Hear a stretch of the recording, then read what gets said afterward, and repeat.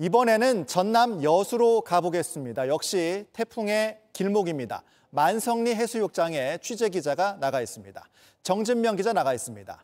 어, 낮보다 비바람이 좀 더 거세진 것 같은데 지금 상황은 어떻습니까? 네, 낮과는 확연히 다르게 비바람이 거세졌습니다. 아, 오락가락했던 빗줄기는 굵어져 쉴 새 없이 쏟아지고 있습니다. 아, 거칠게 밀려오는 파도를 보면 바람의 세기가 강해진 것을 알 수 있습니다. 아, 현재 광주 전남 전 지역에는 태풍주의보가 내려졌는데 차츰 경보로 강화될 것으로 보입니다. 내일까지 광주 전남에는 100에서 250mm, 전남 남해안 등 많은 곳은 400mm의 비가 예보됐습니다. 어, 지금 취재 기자가 있는 만성리 해수욕장이 태풍 매미 때도 피해를 입은 곳이라고 들었습니다. 현재 대비 상황이 어떻습니까? 네 그렇습니다. 아, 제 옆으로 일찌감치 문을 닫은 상가들이 있는데요.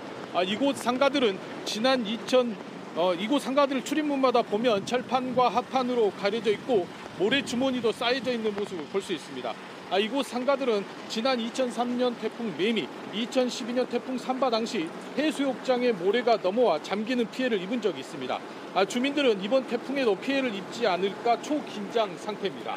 아, 다른 해안가 상가들도 영업을 중단하고 비바람에 흔들리지 않게 어, 출입문 등을 묶어놓은 모습을 볼 수 있었습니다.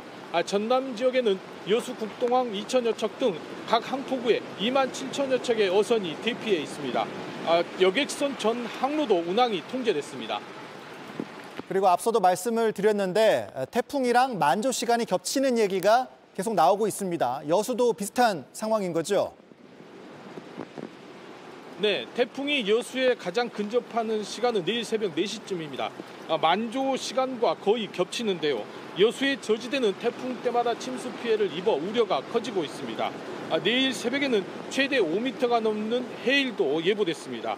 아, 바람 역시 태풍이 근접하는 시간에 초속 40에서 60m로 예보돼 강풍 피해 걱정도 큰 상황입니다. 자, 전남 지역의 대응 태세 현재 상황 어떻습니까?